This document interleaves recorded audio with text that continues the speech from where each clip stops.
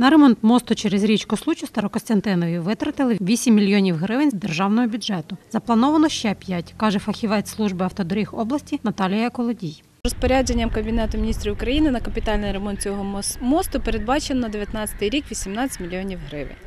Це що по коштах. Роботи ведуться згідно графіку, тобто підрядник іде згідно плану робіт, і будемо набагати, буде намагатися якнайшвидше завершити роботи. Ну, до кінця літа по орієнтовно мають роботи завершитися. Міст буде завширшки 15 метрів, 10 з яких це проїжджа частина. З обох боків плануються відгороджені пішохідні доріжки шириною 2,5 метра кожна. У роботі задіяна бригада з 18 чоловік, каже старший виконроб Ярослав Лучечко. Працюють вахтовим методом, іноді у дві зміни.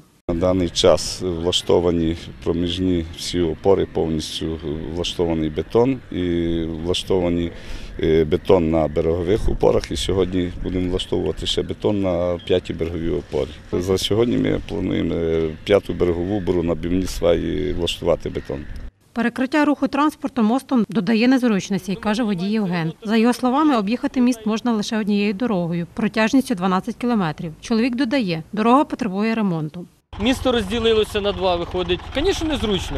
І об'їзд так же само дуже великий, і там дорога не зроблена. Але мусимо терпіти. Це ж для нас робиться все.